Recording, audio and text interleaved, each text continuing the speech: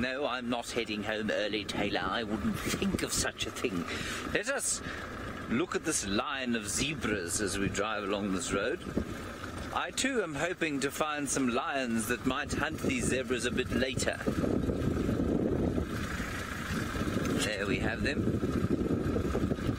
And they're all heading sort of in the same direction, and I suspect that they are going to cross over not the Mara, but they're probably going to cross over towards those marshy areas south of where we live at Angama, and that's because it's very green over there, and I think that would be a good spot for them to be. And they certainly seem to be moving as one, except for this one, who is facing us off. Go on. Yes. Don't you dare look at me in that tone of voice again. No, no, no, no, no. Carry on, as you were. Go on. Yes. Don't make me speak again. Don't wag your tail at me like that either. Hmm? He's challenging us, Craig. You see that? No, he's not. He took one look at your beard and decided, uh-uh.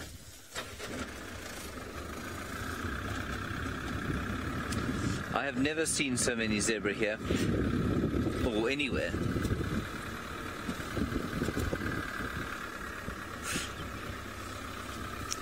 Rochelle, you want to know what environmental disasters normally occur in Africa? Uh, well, Rochelle, I think I know what you mean.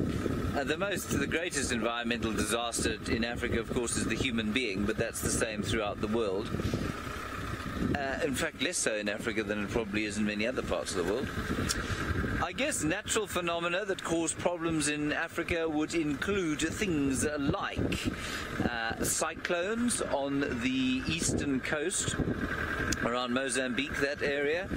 Um, I suppose there might be what else? You know, we not actually don't have huge natural disasters. No real earthquake problems. We don't have volcanoes that erupt on our heads from time to time. Very little in the way of coastal issues with things like tsunamis and that sort of thing. And although we do get cyclones on the eastern south, southeastern coast, they really are not particularly severe. So the most dire natural uh, disaster we have in Africa is drought. And drought is uh, the limiting factor, I suppose.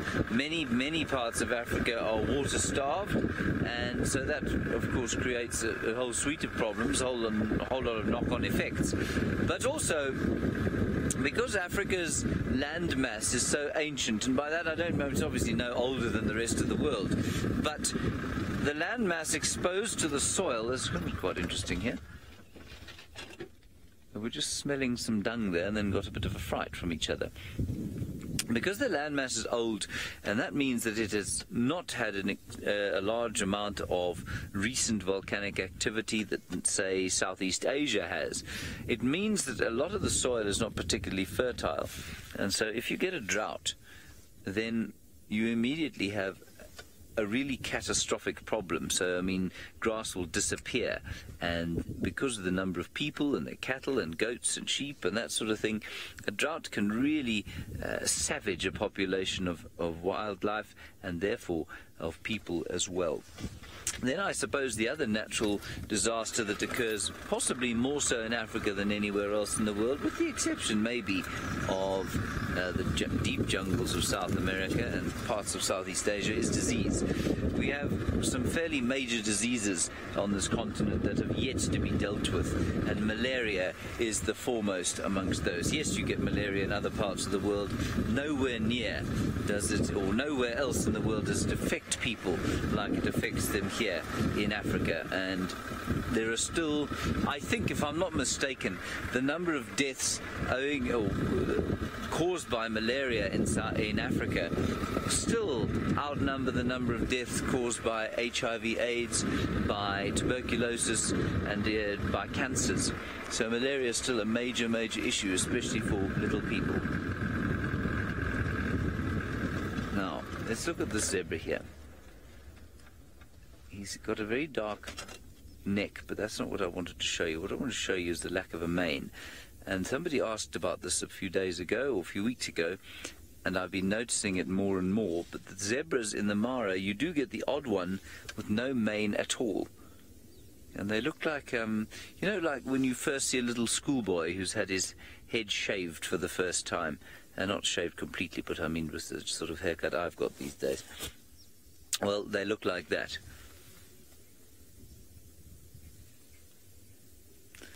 Rochelle, do you want to know if zebra, buffalo, and wildebeest ever sleep? The answer is absolutely they do. They have to. They must sleep. But they don't sleep like we do. They don't um, have a period of, you know, I don't know, anything between four and eight hours where they completely shut down. If they did that, they'd be eaten and killed very quickly. And so they sleep uh, sometimes not while walking, but they'll sleep in the middle of the day quite often. They'll sleep while they are, or doze while they're ruminating. And often in a herd like this, some will sleep and some will stay awake. So there's a kind of random distribution of sleep, if you like, where uh, some will be awake always and some will sleep. And that goes, to, that's the same for wildebeest, zebra, uh, buffalo, uh, topi, all the 13 species of antelope that you get here, and uh, there's 10 species that you get at Djuma. They have a very similar sort of sleeping pattern. It is only lions, really, that are able to sleep as soundly as they do. And you know, we've followed lions for many nights now out here.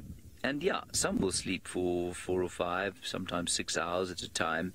But you know, they'll get up and they'll move for 15, 20 minutes and they'll sleep again for another hour or two, but then they'll get up and move again. So I don't know how many other species there are in the world that sleep for a dedicated period like we do. And I wonder if actually we're naturally supposed to do that or if uh, perhaps it's a um, sort of result of modern living, if, if you like.